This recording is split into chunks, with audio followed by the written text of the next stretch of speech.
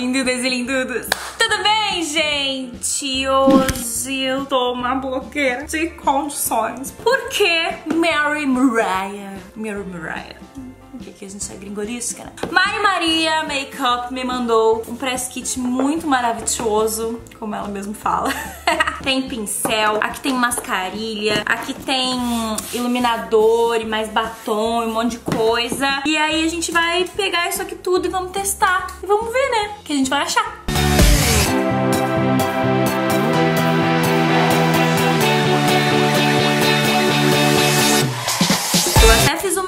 Enquete com vocês lá no Stories, perguntando se vocês queriam que eu testasse. E, óbvio, né? A enquete tá simplesmente bombando pra que sim, pra que eu teste. E eu sei que ela tem uns lançamentos, né? E aí ela me mandou um monte de coisa e eu fiquei como, né? Faceira. Falando isso, muito obrigada, viu, Mari, por lembrar de mim aqui, por colaborar. A gente tá produzindo conteúdo de jornalismo investigativo aqui pra esse canal. Um beijo pra ti. Muito sucesso, tá? Pra tua linha de maquiagem, que ela expanda e cresça cada vez mais. Ó, aqui vem esse é, negocito aqui, ó. Negocito que diz o seguinte: conheça a nova coleção de batons Juicy, os iluminadores poderosos de Mary Mariah, criados para todos os amantes de maquiagem. Eles desenvolveram três tonalidades alegres e vibrantes, compostas por dois batons mates e um gloss, que é uma verdadeira explosão de frescor. Ai, já gostei assim da descrição, achei fina. Nossos batons mate deixam os lábios altamente macios, sem a sensação de secura. Eles possuem alta fixação e amarão seus lábios como nunca antes. O gloss possui uma tonalidade incrível combinada com um extraordinário brilho do duradouro, não douradouro, duradouro, tá? Não sei se é dourado.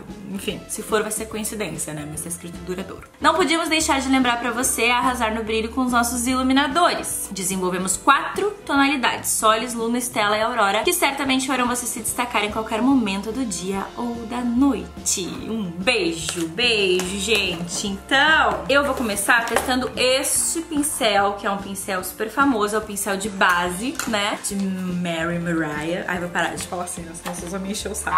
Mas é que nem Ruby Rose Rose, né? Que nem. Eu sempre tem que ter um jeito diferente, né? Um jeito só meu de falar as coisas. Esse pincel da Mari eu vejo ela usar há muitos anos, né? Eu sei que ele mudou de versão, ela fez uma, algumas versões, né? E olha que beautiful que ele é, gente. Nossa, é mó lindão, né? Ó, a cerda aqui é sintética, tá? Dá pra perceber o toque, porque ela tem um brilhinho um pouquinho mais, mas ele é bem gordinho, tem bastante cerda, aparentemente. E ele vem nesse degradê do roxo pro rosa e pro dourado, que eu achei belíssimo. Então vou começar aplicando aqui minha foundation, né? Com ele, a gente ver como é que é a aplicação. Vamos ver. Eu vejo que a Mari sempre aplica com ele assim, ó, arrastando pouquinho, né? Mas com batidinhas. E isso é bom porque acaba dando uma cobertura muito maior, né? Como eu sempre falo para vocês, o pincel, na minha concepção, ele sempre deixa uma cobertura mais alta do que quando a gente aplica com esponjinha, por exemplo, porque a esponjinha ela sempre tira um pouco do excesso, né? De produto. E com o pincel tu consegue dosar bem essa aplicação, né? Se tu vai depositar mais para deixar a cobertura mais completa, reta, ou se tu vai arrastar mais pra deixar a cobertura mais fina, ou se tu vai mesclar pra fazer um meio termo, né? Então repara aqui que eu caguei a sobrancelha porque faz parte do meu show, tá? Eu só pra depois te mostrar como corrigir. Nem vou te mostrar. Enfim, gente, achei que ele espalha bem o produto. Ó, aqui quando eu quero esfumar mais, ó, eu já venho possuída pelo ritmo ragatanga com movimentos mais, né? Assim mesmo. Ah, bom. Movimentos mais arrastadinhos. Mas esse formatinho dele é bom porque aqui, ó, tu consegue entrar no olho, nos cantinhos do nariz, porque tem esse corte mais reto, né, de, de ter essa função aqui, ó, dele ser mais triangular. Eu achei ele bem anatômico.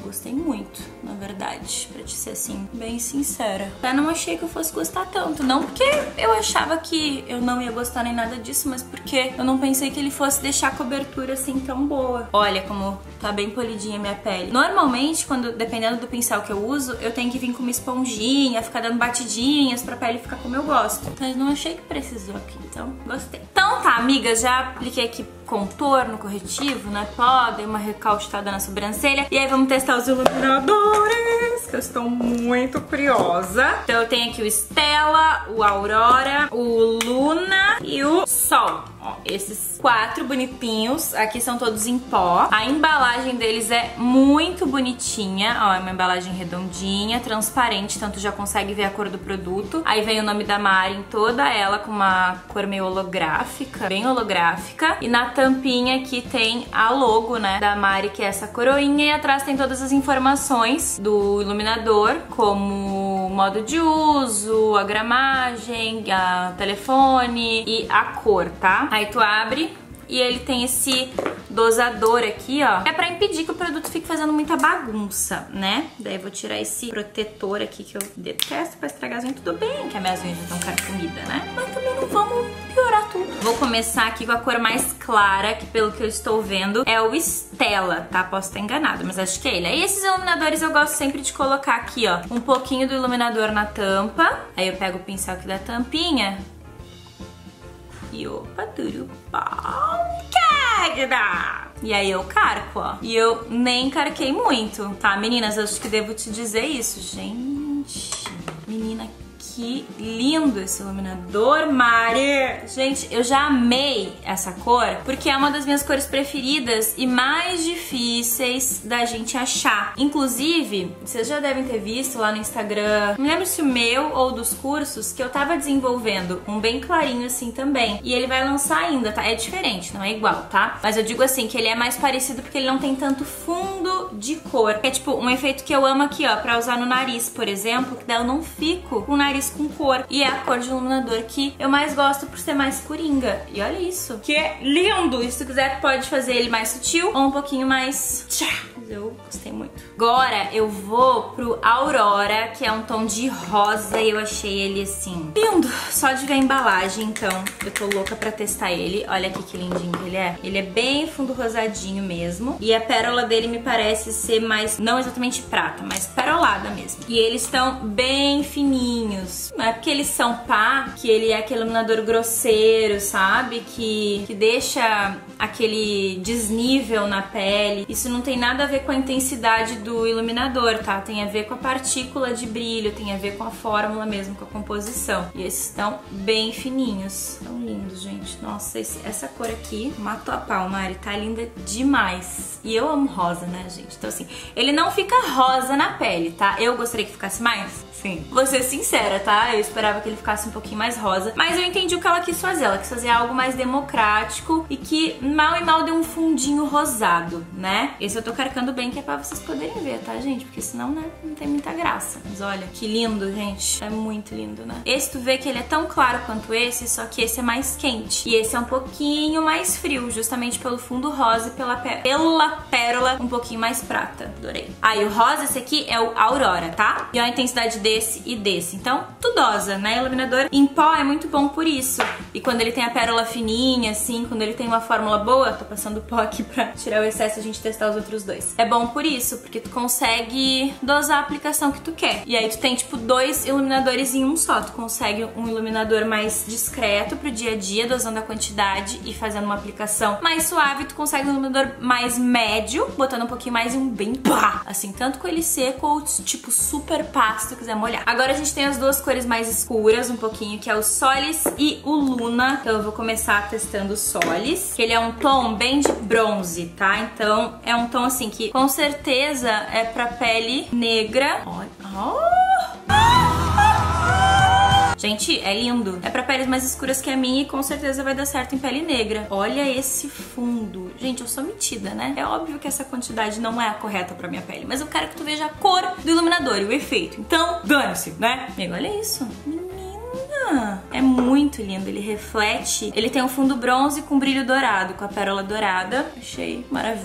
E agora, por último, o Luna, que é uma cor champanhe. Eu até achei que ele era mais douradão, mas não, ele é champanhe. É um champanhe mais rosadinho, assim. É uma cor super versátil. Eu acho que dos iluminadores é a cor que mais atende tom de pele, sabe? É esse champanhezinho aqui. Ele tem um fundo levemente rosé com a pérola mais clara também, mas ao mesmo tempo não tem só pérola clara pra dar esse efeito mais champanhe, né? Deixa eu concentrar só um pouquinho aqui, ó, que é onde eu quero que ele fique mais visível. E é óbvio que tá exagerado, tá, gente? Mas iluminador, pra aparecer bem no vídeo a cor e tudo mais, tem que dar uma exagerada. Então, né, não tem sentido eu vir aqui botar um pingo pra tu não ver nada e não conseguir diferenciar. Por isso que tá assim, mas é claro que eu não iria usar assim, tá? Só pra mastigar, pra desenhar. Mas o pessoal não entende. E assim tu consegue ver muito bem a diferença também. São totalmente diferentes esses dois. Esse é mais pro bronze mesmo fundo e esse é totalmente champanhe, então ele vai atender aí vários tons de pele, assim, até negras claras eu acredito que esse aqui atenda, tá? E esse tom de pele negra de modo geral, eu acredito que dê certo também, porque ele tem um fundo bem bronze, assim, bem mais escuro. Mas, se tu tiver pele negra e já tiver testado, comenta aqui pra gente saber também com certeza. Mas batendo o olho assim, eu realmente acho que dá tranquilamente. Arrumei a pele aqui, reapliquei o Stella, que eu posso dizer que é um dos que eu mais vou usar, com certeza.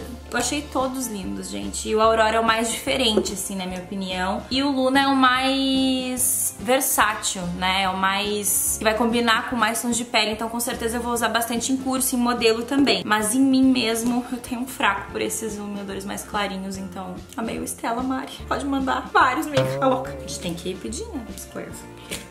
É assim que a vida funciona. Não, mentira, não, não é assim não. Vai trabalhar, comprar unha. Máscara de cílios, temos essa embalagenzinha muito fofa, por sinal, rosinha, com a mesma logo holográfica, né? E com, com a loguinho aqui e tudo mais. E a embalagem também tá muito bonitinha, ó. Toda com essas listras na horizontal, rosinha também com holográfico. Gostei muito dessa identidade visual, assim, que eles fizeram. E aqui tá o loguinho de coroinha. E o aplicador, que é o que eu estou mais curiosa.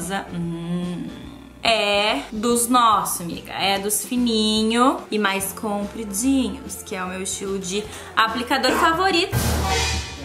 Eu já disse pra ele no médico, mas ele continua me perseguindo com essa tosse infeliz. O que, que eu faço? Também não sei. Ah, ele é bem flexível, ó, tá vendo? Então, vamos ver aqui. Ele tem cerdas realmente bem picurruchinhas, o que eu acho que facilita muito o trabalho pra deixar o cílio separado. Porque a cerda, a, a cerda quando ela é menor, ela acaba sendo mais durinha, né? Mais resistente, assim. Ela não é tão maleável quanto quando ela é maior, né? Tem mais comprimento. E isso faz com que ela consiga deixar o cílio aqui desde a raiz mais separadinho. Então, amigas, esse rímel eu sei que tem grande chance de eu amar, porque o aplicador é exatamente o tipo de aplicador que eu sempre falo aqui pra ti. Tendo essas características aqui nas cerdas, normalmente eu gosto muito. Olha, gente, o efeito? Por isso que eu gosto desse tipo de aplicador. Agora vamos fazer mais uma camadinha aqui com um pouquinho mais de produto. E tu consegue trabalhar bem, sabe, o cílio. Então, é puro amor. Eu gosto dessa liberdade. Aí quando tem aqueles aplicador trambolho, não é que eu não consiga resultado, eu consigo também. Só que me dá muito mais trabalho e menos liberdade, porque eu me sujo muito. Não consigo fazer a mesma coisa, sabe? Então, não acho eles tão anatômicos, por isso que eu sempre prefiro os mais fininhos. E assim, o ponto da máscara eu achei que tá ótimo, porque eu acabei de abrir e olha o efeito que deu no cílio. Tipo, não tá aquele cílio grunhado, super molhado. Eu gosto um pouquinho grunhadinho, tá? Aí é de gosto, né? Que nem briou. Mas tá com um ponto muito bom, eu gostei. Apliquei a máscara nos dois olhitos e queria te mostrar uma coisa que eu gostei muito, que é muito importante em máscara pra mim. Como eu me cago bastante em máscara, é importante isso aqui, ó. Que ela saia com facilidade, tá? Então, pra mim nunca dá certo aquela máscara que, tipo, ou ela não sai, né? Ou quando eu vou tirar, ela sai, mas sai manchando a pele, sabe? Isso não acontece. Até aqui embaixo eu tinha sujado bastante, porque eu gosto de trabalhar bem os cílios inferiores. Aqui, ó, tá vendo aqui, ó? Tá bem sujinho, ele chega a tá pretinho, ó. Olha só. Ela sai em pedacinho, ó. Até entrou aqui no olho o pedacinho. Pra mim, essa característica é muito importante, é fundamental, porque senão eu não consigo usar. Eu acho bem importante falar isso, porque eu sei que, assim como eu, muita gente também se caga com rímel, né? Então, é isso. E tá aí o efeito, o que, que vocês acharam? Eu adorei, gente. Eu vou usar muito essa máscara aí, vocês vão me ver usando bastante, porque realmente ela é bem do efeito que eu gosto. Fiquei bem feliz. Então, agora vamos finalmente testar os batons da Mari, que eu recebi aqui duas cores. Tem esse vermelho, que é o na cor Ginger, que ele vem em alto relevo, assim, que, assim pra quem já é meio ceguinha, tipo eu, assim, é meio difícil de enxergar, tá? Eu prefiro quando vem aqui na bundinha, mas tudo bem. E esse é o Purple Rain. Gostei bastante das cores, achei bem diferentes e realmente cores bem alegres. Vamos começar com o Ginger. Uhum. Parece bem fino, mas vamos ver se é pigmentado. O aplicador ele faz tipo uma curvinha assim, tá vendo? Pra diagonal, como se fosse um ângulo mesmo, mas tem uma ponta bem fininha. Ele tem uma textura diferente, tá? É como se ele fosse um líquido mais cremoso, sabe? Não é aquele líquido realmente líquido, líquido mesmo. E isso transparece bem assim na, na aplicação final dele. Ele é super pigmentado, né? Acho que deu pra ver, não, tu não precisa fazer muita camada. Essa cor pelo menos não manchou. Vou só dar um retoquinho aqui, aqui, aqui faltou. E até é bom que deu retocando aqui, a gente vai ver se vai manchar ou não, né? Que é uma reposição de camada mais intensa. Mas quando ele tá secando, tu sente que ele tá confortável na boca, não é aquele mate que já vai secando e tu vai sentindo a boca ressecar junto, sabe? Não, não manchou. Seca bem rápido, já tá secando nesse exato momento. E eu achei a cor bem bonita, bem linda. Tipo, é um vermelho meio com fundo coral, assim. Não é um vermelho só com fundo alaranjado, sabe? Ele é um vermelho, na minha concepção, assim, na minha leitura, ele tem o laranja também, mas é um laranja com um pouco de coral. Não sei se é o meu fundo de pele, se é a luz que eu tô, pode ser, isso interfere muito, né? Mas eu tive essa impressão. Vamos aplicar o outro Purple Rain. Mas bem fácil de aplicar, gente? Bem fácil mesmo. Tem mistério. Ah, devia ter aplicado gloss em cima do vermelho, mas tudo bem. Vamos agora então pro rosto, que é o Purple Rain. Hum, vamos ver. Eu fiquei encantada com essa cor. Tá secando ainda. Meu Deus, a moça não seca isso. Mas esse aqui eu notei um pouco mais de dificuldade pra ele ficar uniforme, uniforme a cor, tá? Pode ver aqui, ó, vou ter que reaplicar um pouquinho. Não é que não vai ficar, mas tu vai ter que ter um pouquinho mais de trabalho, tá? Vou reaplicar aqui? Só pra preencher. O outro eu achei mais fácil e isso é bem comum, tá, gente? Isso eu tenho que falar. Isso acontece também com o meu batom Kate, com o meu batom Lorde, que são os mais escuros, que são batons que tem muito pigmento, tem esses pigmentos mais fortes. Então isso é normal, não é exclusivo do batom da Mari, mas tem que falar, tá? E olha como ele seca rápido. Tipo, já tá secando. Mas a cor é linda linda. Mari é linda, é linda mesmo. O gloss se chama Berry e ele tem esse fundo rosa. Nossa, tem um cheirinho maravilhoso, um cheirinho de bala mesmo, de doce, ó. E ele é um gloss mais rosadinho. Eu vou aplicar em cima aqui só pra gente ver como é que vai ficar. Mas acho que como o batom é bem escuro, ele não vai aparecer tanto, né? Ele vai dar uma leve clareadinha. Hum, olha, o cheiro dá vontade de comer doce. Meu Deus. Hum, mas ele aparece, mesmo por cima do roxão, ó. Ele dá uma nuance mais rosadinha, tá vendo? Achei que ficou lindo, inclusive. Não é aquele gloss peguento que eu não gosto. Ó, é um gloss mais fininho, assim, não é peguentão. Tanto que, ó, tô falando aqui, tu não tá vendo aquelas peguinhas na boca, sabe? Pode até aplicar mais de uma camada, como eu fiz aqui, que ele não vai ficar preguento. Então, gostei bastante disso. Achei que ele tem uma estabilidade boa na boca, não fica escorrendo, não é muito mole. Tá bem no ponto que eu, particularmente, gosto bastante. O que não é muito fácil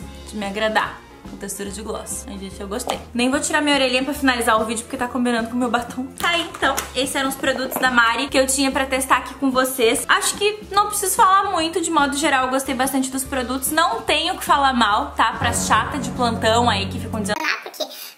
Porque só porque. Gente, nada a ver, tá? Nada a ver. Realmente não tenho que falar mal do produto. O que tinha de ponto mais negativo, eu acabei de falar, que é o batom, que ele dá uma manchadinha assim. De resto, a máscara eu achei incrível. Os iluminadores estão com uma fórmula... Leopoldo, entrando dentro de uma caixa. Os iluminadores estão com uma fórmula maravilhosa, super fininha, com a pérola bem fina, que estão refletindo bastante luz, o que eu gosto bastante. Gostei de todas as cores. Achei que tá com uma seleção de cores bem bonita também, pra atender diversos tons de pele, o que eu acho muito bom. Os meus preferidos, como eu falei pra vocês, Stella e depois o rosa, mais por ele ser diferente, mas não acho que eu vá usar tanto assim, mas gostei por ser diferentão. E o Luna seria meu segundo preferido em termos de ser mais usável assim. Os batons também achei super bonitos, com cores bem legais e diferentes do que a gente tá vendo bastante no mercado agora, né? Que a gente tá vendo muito nude, nude, nude, ou cor escura em função do inverno. Então, achei legal, porque também não é porque tá chegando o inverno que a gente não pode usar cor. Gloss, realmente eu gostei muito por causa da textura, como eu acabei de falar pra vocês. Com certeza eu vou usar bastante. Mari, inclusive, acho que tu deveria lançar mais cores desse gloss, que ele tá com uma fórmula muito legal, amiga. Dica. E é isso, gente. O que, que vocês acharam? Qual produto que tu mais gostou? Me conta aqui embaixo. Eu espero que vocês tenham gostado. Clique em gostei, que pra mim não vai embora se inscrever aqui no canal. Afinal, já estamos aí, né? Rumo aos 2 milhões e meio de lindudas e lindudos. Vem fazer parte dessa família aqui também. Joga esse vídeo lá no WhatsApp pra todo mundo conhecer os produtos da Mary Mariah. E eu te vejo aqui toda segunda, quarta, sextas e domingos. Um beijo